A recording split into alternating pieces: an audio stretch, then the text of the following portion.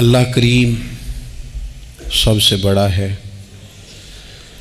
नबी अकरम नूर मुजस्सम सल्लल्लाहु अलैहि वसल्लम अल्लाह के महबूब मुतलक हैं। हम अल्लाह के बंदे हैं और रसूल कायनात के ग़ुलाम हैं। सल्लल्लाहु अलैहि वसल्लम। हमारा एक बहुत बड़ा तारुफ है। इबादुर्रहमान कहा है अल्लाह ताला ने अपने बंदों को। हमें कहा है कि तुम बेहतरीन उम्मत हो। अल्लाह करीम ने एजाज़ात से नवाजा है। जिन लोगों के पास इतनी बड़ी नस्बतें हों, इतने बड़े हवाले हों, इतनी बड़ी ताकतें हों, उनके पास ज़ाहरी तौर पर अगर लोगों का जत्था ना भी हो, और ज़ाहरी तौर पर अगर मालो असबाब वक्ती तौर पर न भी हों, इकतदार ओहदा। और बड़े लंबे चौड़े नारे उनके पीछे नाम भी लग रहे हों तो ये बहुत बड़ा तारुफ नहीं कि अल्लाह के बंदे हैं और रसूल करीम के ग़ुलाम हैं। और क्या ये तारुफ जीने के लिए, ज़िंदा रहने के लिए और गर्दन उठाकर जीने के लिए बहुत बड़ा तारुफ नहीं? बावजूद इतने बड़े तारुफ के अगर कोई बंदा कमज़ोर कमज़ोर बातें करे, कच्ची पक्की गुफ्तगु करे और वो अपने आप को बार बार मजलूम साबित करने की कोशिश करे। वो बार बार अपने ज़ख्म दिखाए ताकि वो काबिल रहम करार पाए। तो ये बातें एक मोमिन को, एक मुसलमान को, अल्लाह के एक बंदे को ज़रा जेबा नहीं देती, ज़रा अच्छा नहीं लगता। मुसलमान असाबी तौर पर, जहनी तौर पर, नफसियाती तौर पर एक ताकतवर कौम है। मुसलमान वो कौम है जो मरऊब नहीं होती। ये रोब दिखाती है, रोब। हम वो लोग हैं कि जिनके अकाबरीन सोए भी होते थे, ना सोए होते थे हज़रत उमर। लेकिन उनको सोए हुए देखकर भी लोग कांपा करते थे। इसलिए कि शेर तो शेर ही होता है ना। वो सोया हो तो फिर भी शेर ही। तो मैं कुछ अरसे से इस कमी को बड़ी शिद्दत से महसूस करता हूँ कि लोग यानी कोई शख्स भी मिलता है तो वो इस लहजे में बात करता है कि उसे मजलूम मान लिया जाए, काबिल रहम मान लिया जाए, उसकी मदद की जाए, उस पर तवज्जो की जाए। ये मुसलमान की शान नहीं। आप सूरह बकरा पढ़ेंगे तो कुरान मजीद असहाब सुफ़ा की शान बयान करता है कि उन्हें बड़ी हाजत है, बड़े ज़रूरतमंद हैं। वो लोग थे जो कई कई दिनों तक रोटी नहीं खाते थे, लेकिन रब फरमाता है कि मेरे महबूब के मदरसे के उन तालब को जो देखेगा, उसे महसूस होगा कि ये तो बड़े अमीर लोग हैं। क्यों क्यों महसूस होगा? ला यस अलून नासा इलाफा ये लोगों से लिपट लिपट कर सवाल नहीं करते। कशकोले तलब नहीं दराज करते। ये अपने पर्दे को कायम रखते हैं। खुददारी, इज़्ज़त, नफ्स, वकार, खुदी। हमारे यहाँ तेज़ी से इन चीज़ों का आज जो है वो यूँ महसूस होता जैसे कहत हो गया है। इल्ला माशाल्लाह। आपके ज़ख़म दिखाने से कोई भी आपका ज़ख़म नहीं भरेगा। बल्कि मैंने तो ये देखा है अपनी ज़िंदगी में कि अच्छा भले ताल्लुक चल रहे होते हैं, आपको ज़रा ज़रूरत पड़ जाए तो सामने वाला आँखें फेर लेता है। उसी वक़्त उसका माहौल और उसके हालात ख़राब हो जाते हैं। इसलिए अपना सारा भरोसा, अपनी सारी तवज्जो, अपनी सोचों का मुकम्मल मदार सिर्फ़ अल्लाह रसूल की ज़ात को बनाएँ। और इस अंदाज में बनाएँ कि कौन देता है देने को तू चाहिए, देने वाला है सच्चा हमारा नबी। और ये जहन बनाए ज़िंदगी में कि रब रसूल की बारगाह से दो कतरे भी मिल गए तो दुनिया भी बन जाएगी, आखरत भी बन जाएगी। इसलिए इधर उधर देखना थोड़ा कम करें। और बिलखसूस, आज अपील करूँगा उस्ताद अपने शागिर्दों को, पीर अपने मुरीदों को, बाप अपनी औलाद को बड़ी बड़ी बातों का सबक पढ़ाए बड़ी बड़ी बातों का। इकबाल ने शिकवा किया। है इकबाल कहने लगे, शिकायत है मुझे, या रब खुदा बंदान मकतब से। ये जो उन्हें कहते हैं कि जनाब, पढ़ जाओगे तो रोटी अच्छी मिलेगी। ये उन्हें कहते हैं, पढ़ जाओगे तो कार में बैठोगे, पढ़ जाओगे तो कोठी बना लोगे। ये क्या सबक पढ़ा रहे हैं भला? इनको तो तुम बड़े बड़े बातें बताओ, इन्हें कहो, पढ़ोगे तो दुनिया में हुजूर के दीन का इनकलाब बर्पा करोगे। तुम इन कहो कि तुम पढ़ोगे तो तुम एक पूरा पूरा मुल्क चलाओगे। तुम इनकलाब बर्पा करोगे, उठ बाँध कमर, क्यों डरता है? फिर देखो खुदा क्या करता है। इकबाल कहने लगे, ये तुम क्या सबक पढ़ा रहे हो कि रोटी सही मिल जाएगी? चंदा इकट्ठा करने का तरीका आ जाएगा? कहने लगे, शिकायत है मुझे, या रब खुदा, वंदान मकतब से। सबक शाही है, और बच्चों को दे रहे हैं खाकबाजी का। उड़ने वाली तालीम थी, और ये उन्हें रींगने का सबक पढ़ा रहे हैं। तगड़ी तगड़ी बातें बच्चों को सिखाओ तगड़ी तगड़ी ये फिर सारे ना ढूंढते फिरें कि वो फलाना जो है ना चाचा अमीर है तो मामू अमीर है तो फलानी खाला बार है तो फलाना ज़रा मेहरबान। कोई भी नहीं मेहरबानी करता। मेहरबानी जब भी करता है या खुदा करता है, या मदीने वाले मोहम्मद मुस्तफ़ा करते हैं।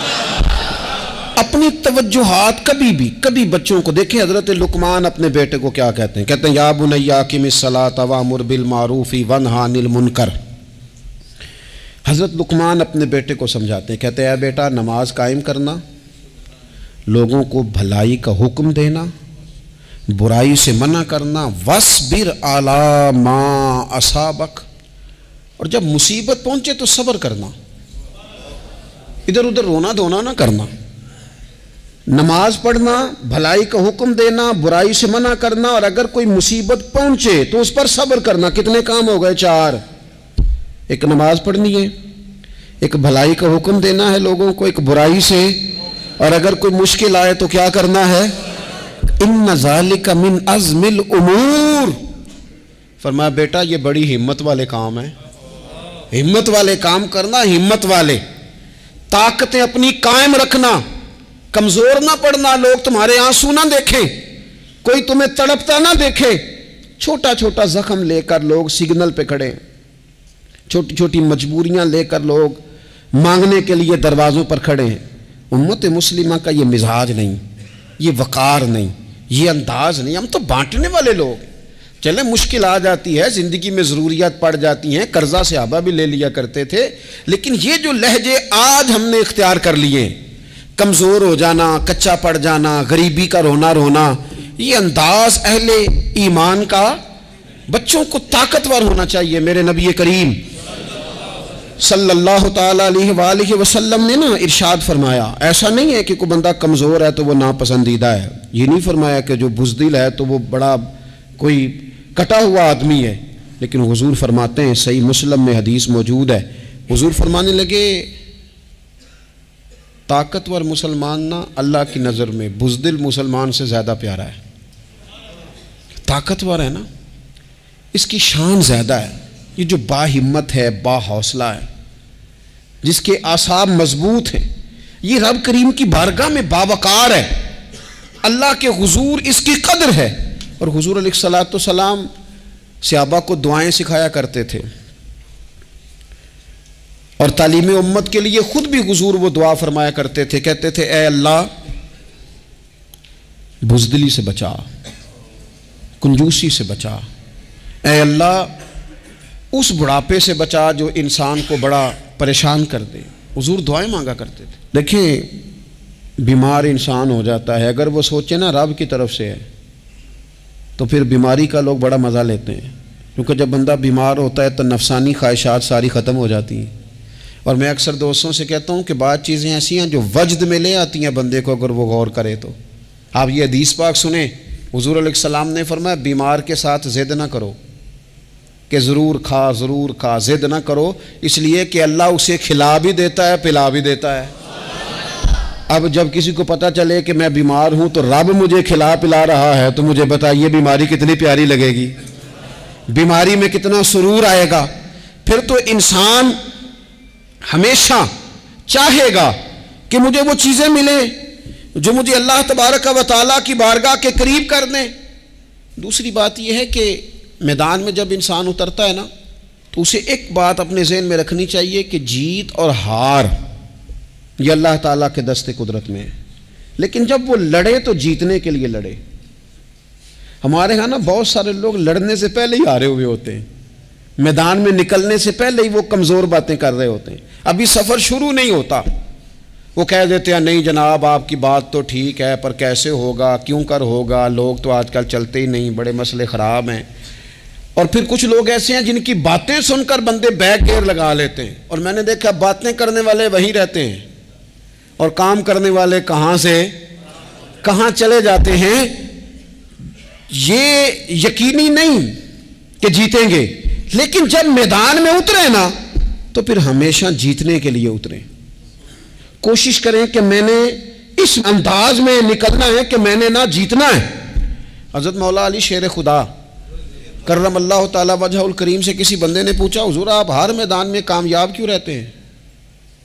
फरमाने लगे, जीत, हार तो रब करीम के दस्ते कुदरत में है, लेकिन जब मैं उतरता हूँ ना मैदान में तो मैं दुश्मन देख के पहले ही फैसला कर लेता हूँ कि मैंने इसके पेट में खंजर मारना कि गले पे मैं जीतने के लिए मैदान में उतरता हूँ। तो आप देख लेना, दीवारें हिलती रहती हैं और दर काँप जाता है।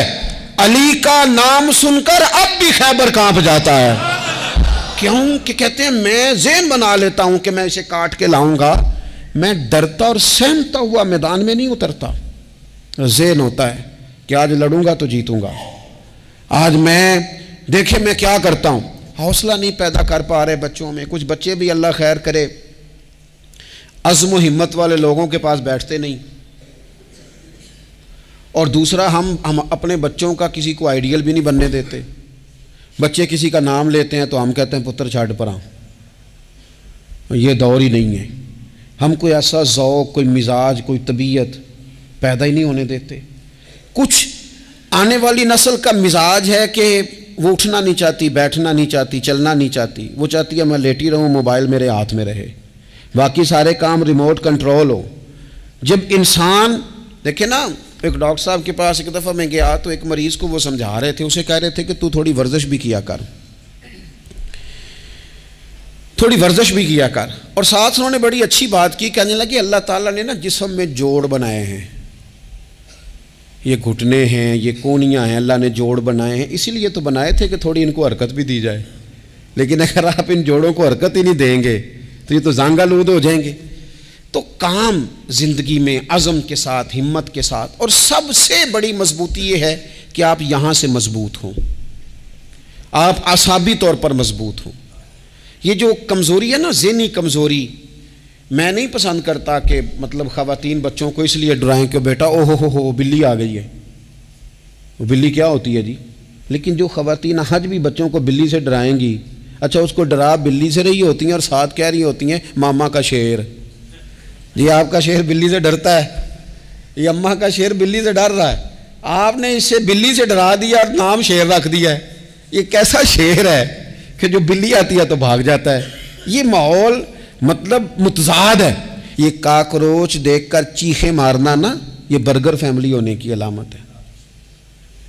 छिपकली देखकर ना चीखे मारना ये अमीर घरों की अलामत है, पढ़े लिखे लोगों की अलामत। ये क्या मज़ाक है जो कौम छिपकली से डरती है काकरोच से डरती है। और जो लोग कहते हैं हो, हो ये जनाब ये तो अंदर मेरे वो आ गया टोका तो ये खा जाएगा। तो ये कौम इनकलाब बर्पा करेगी। ये मैदानों में निकलेगी। बड़े खूबसूरत अंदाज में वीडियो बना के तो उसको शेयर किया जाता है कि वो जी कुर्बानी वाले दिन बकरा ज़िबा हो रहा था तो बच्चा रो पड़ा। क्या बात करते हैं आप? ये याद करेगा बच्चा कल को? जो बकरे ज़िबा होने पर रोता है असाबी मजबूती जहनी तौर पर मज़बूत कब होती है? जब इंसान अखलाकन मज़बूत होता है। उसकी तबीयत वजादार होती है। उसका मिजाज उसे मज़बूत करता है। आप एक हदीस देखें, तिरमिजी में मौजूद है।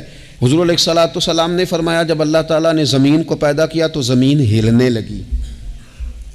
तो अल्लाह ने पहाड़ों को मीखें बनाकर किले बनाकर ज़मीन में लगा दिया तो ज़मीन ठहर गई।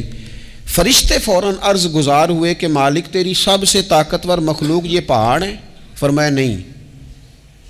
लोहा जो है ना, वो पहाड़ों से भी ताकतवर है, क्योंकि लोहा पहाड़ को काट देता है। या अल्लाह फिर लोहा सबसे ताकतवर है? फरमाया, नहीं। आग इससे भी ताकतवर है। क्या आग सबसे ताकतवर है? तो फरमाया, नहीं, पानी भी है। क्या पानी ताकतवर है? फरमाया, हवा भी है। जो पानी का रुख फेर देती है, मुसलमानों खुदारा इससे बड़ा जौक नहीं मिलेगा, मैं ताकतवर होने का तरीका बता रहा हूँ। हमारे यहाँ लोग समझते हैं कि मैं बोलता ज़्यादा हूँ, इसलिए मैं ताकतवर हूँ। मेरे पास असला ज़्यादा, इसलिए मैं ताक, ये देखो गुजूर ने बताया ताकतवर कौन होता है। या रसूल्ला पत्थर पहाड़ ताकतवर है। तो फरमाया, नहीं, उन पर तो लोहा है। लोहा ताकतवर है, नहीं, उस पर तो आग है। आग ताकतवर है, नहीं, उस पर तो पानी है। पानी ताकतवर, उस पर तो हवा है। तो हजूर फिर मेहरबानी करें, बताएँ ताकतवर कौन है? तो ये देखो ना, ये याद रखो ना, ये कायनात के सबसे बड़े हिकमत वाले महबूब की बात याद रखो ना। हजूर फरमाने लगे, सबसे ज़्यादा ताकतवर वो मोमिन है जो सीधे हाथ से सदका देता है और दूसरे को पता भी नहीं लगने देता।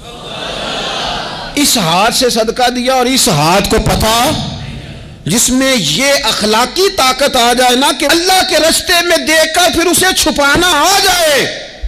वो बड़ा ताकतवर आदमी है। वो मैं ये सबसे बड़ा ताकतवर है जिसने अपने रब से राज ने आज शुरू कर लिए। अल्लाह के रस्ते में देता है, फिर किसी को खबर, ये कौन सी ताकत है? ये रूहानी ताकत है। ये अखलाकी ताकत है। ये किरदार की ताकत ये सोचों की ताकत है। ये आपके मिजाज के बुलंद होने की ताकत है। लेकिन अगर मस्जिद में टाइलें लगवा कर भी एक टाइल पे नाम लिखवा लिया है, अगर कहीं ताउन करके भी कहा मेरा ज़िक्र करो, कोई खिदमत करके कहा मेरा नाम लो, फिर आप कमज़ोर हैं, फिर आप ताकतवर नहीं हैं, फिर आपने बुजदलों जैसा काम किया, फिर आपने वो रंग इख्तियार किया है जो शायद आपको जहनी तौर पर बड़ी कोफ्त में मुबतला कर दे। तो आसाबी ताकत, आसाबी कुत आप देखें हज़रत सिद्दीक अकबर रदी अल्लाह तजूर ने तरबियत की थी ना? मैं ज़िम्मेदारी से कहता हूँ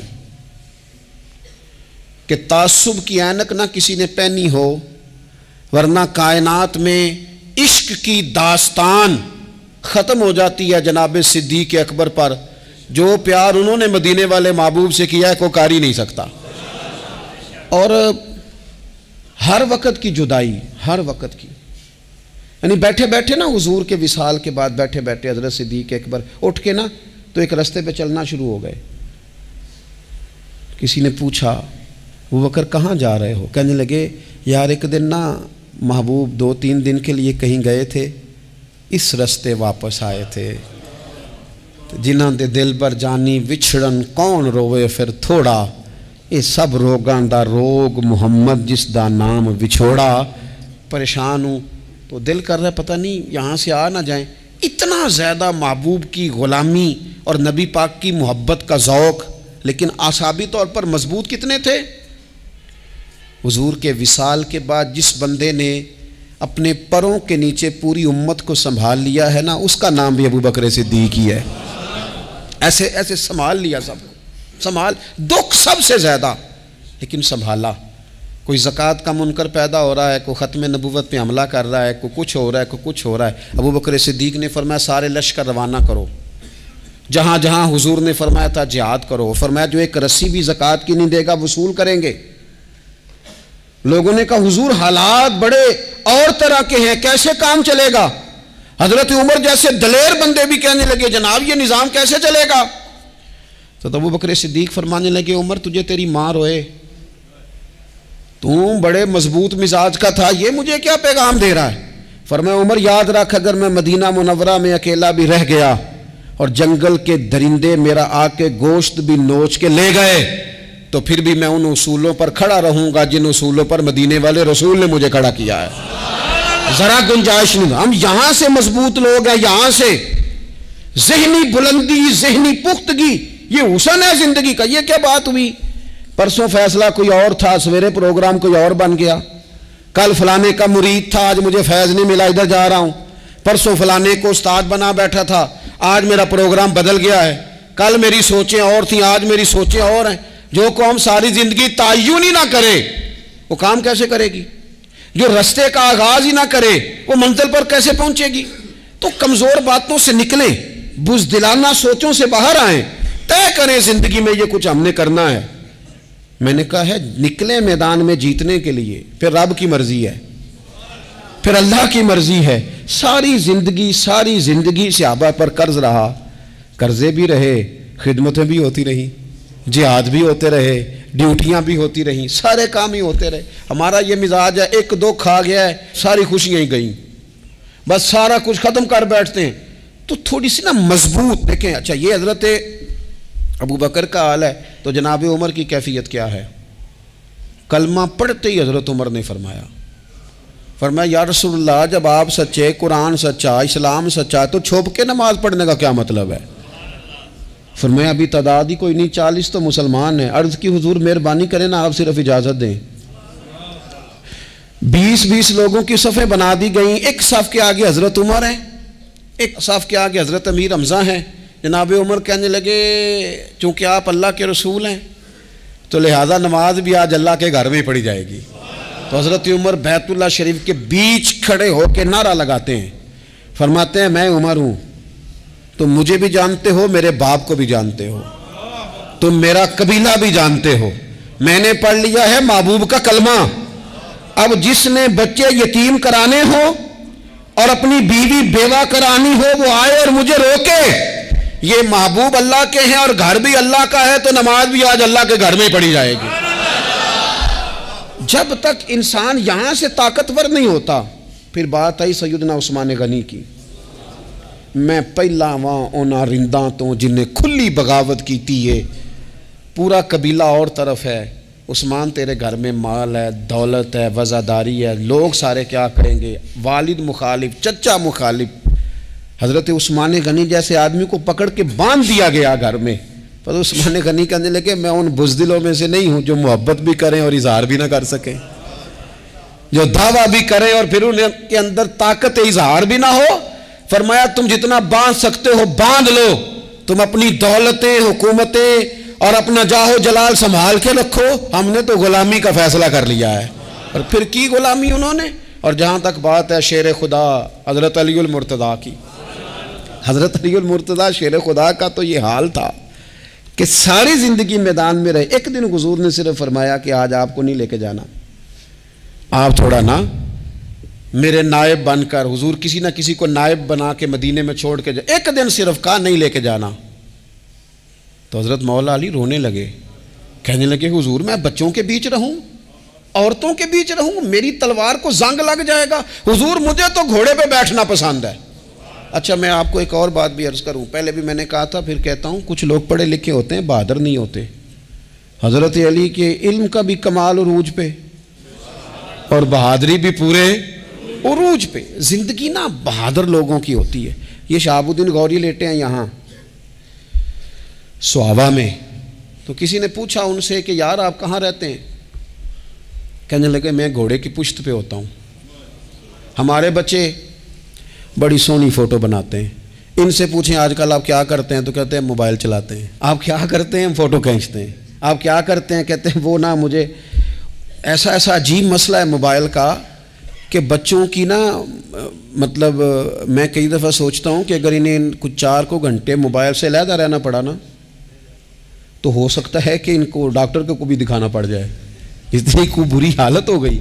मुझे ढेर सारे दोस्त कहते हैं, जी, आप टेलीफोन पे मिलते नहीं। मैंने कहा, मैं पहले मिला करता था, जब तक लोगों की जेब में मोबाइल था, जब से लोगों ने हाथ में पकड़ लिया ना। तो फिर तो एक एक दिन में सौ सौ नंबर मिलता है तो फिर आप कैसे मोबाइल पे रहेंगे? फिर तो एक ही काम है, या फ़ोन सुनेंगे, या कोई और काम करेंगे। तो थोड़ी सी हिम्मत वाली ज़िंदगी गुजारें।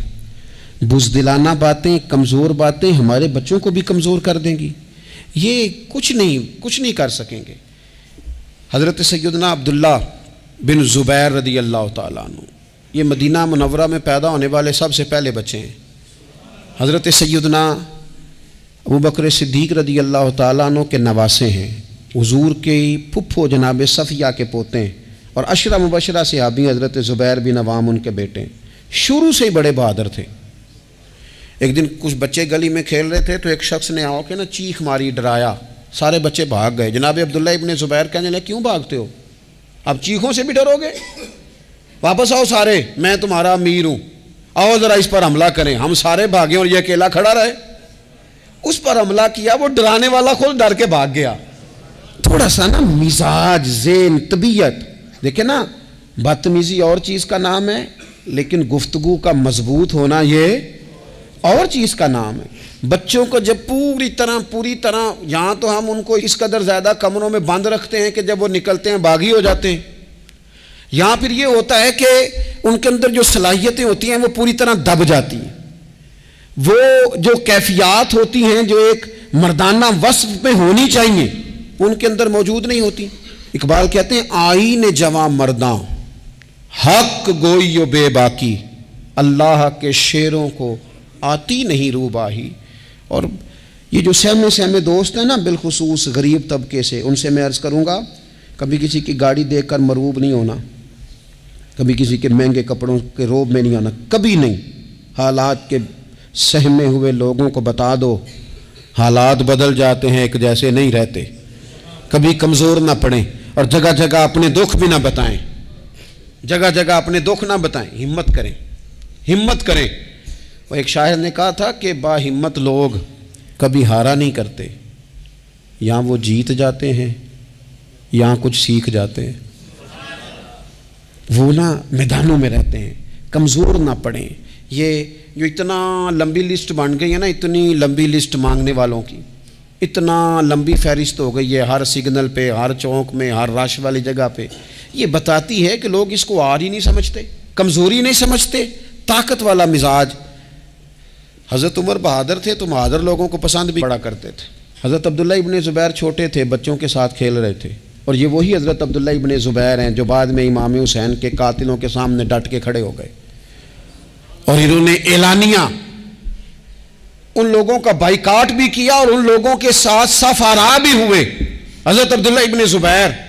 और फरमाते हैं कि मेरी माँ नब्बे साल से ज़्यादा उम्र थी हज़रत असमा बिनती अबी बकर की। जब मैंने उन्हें कहा, ना अम्मा, वक्त आ गया शहादत का तो मेरी अम्मा मुझे कहने लगी, पुत्र, मैदान में रहना।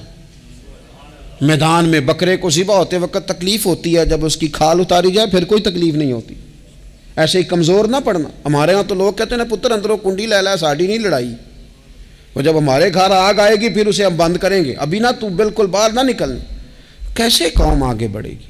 जरूरतें कैसे पैदा हों? और जो कुछ कह नहीं सकते, वो मनवाएँगे कैसे? जो बात करने की ताकत नहीं रखते, वो अपना मनवाएँगे कैसे? हज़रत अब्दुल्ला इबन ज़ुबैर रदी अल्लाह तु अपने दोस्तों के साथ गली में खेल रहे थे, जनाब उमर फ़ारूक आ गए। हज़रत उमर फ़ारूक का जलाल था, बच्चे उनको देख के दौड़ गए। हज़रत अब्दुल्ला इबन ज़ुबैर खड़े हज़रत उमर करीब आए, कहने लगे, पुत्र, आप क्यों नहीं दौड़े? हज़रत अब्दुल्ला इबन ज़ुबैर छोटे से हैं। कहने लगे, जी, क्यों मैं दौड़ता? मैंने कोई जुर्म किया है। तो मैंने गलती की है भला क्यों दौड़ूं? आराम से खेल रहे हैं और ना हमने कोई रास्ता बंद किया जगह है, आपने गुजरना तो गुजर जाए। चाहिए था ना हज़रत उमर नाराज़ होते, पर जनाब उमर ने माथा चूम लिया। लगे, क्या बात है बेटा?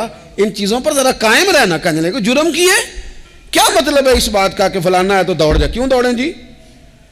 तो हमने जो कौम को सिखाना शुरू किया है ना देखिए फ़कर और चीज़ है, दरवेशी और चीज़ है, सादगी, लेकिन जुल्म सहना और चीज़ है, दुनिया में कतील उससा मुनाफिक नहीं कोई। जो जुल्म तो सहता है, बगावत नहीं करता। अपनी ज़िंदगी में अज़म को, हिम्मत को, नज़रिए को बुलंद करें, मजलूमाना मिजाज ना पैदा करें। बिला वजह दुख सुना सुना के अपने आप को कमज़ोर ना करें। याद रखें, अगर हम अपने दुख किसी को सुना रहे हैं और अपने आप को बड़ा गरीब साबित कर रहे हैं तो ऐसा ना हो कि हमारे बच्चे उसका बुरा असर ले जाए।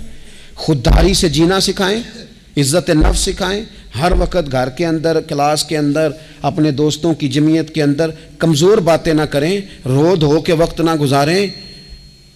रोने से भी रात गुजर जाती है, हंसने से भी रात गुजर जाती है, ना शुक्री से भी दिन बीत जाता है और शुक्र से भी। लेकिन बस बात इतनी है कि शुक्र वालों का ज़रा सही बीत जाता है, हंसने वालों का ज़रा सही बीत जाता है, ज़िंदगी में अज़म के साथ, हिम्मत के साथ लोग जिस हाल में मरने की दुआ करते हैं माजल्ला लोग जिस हाल में मरने की दुआ करते हैं, हमने उस हाल में जीने की कसम खाई है।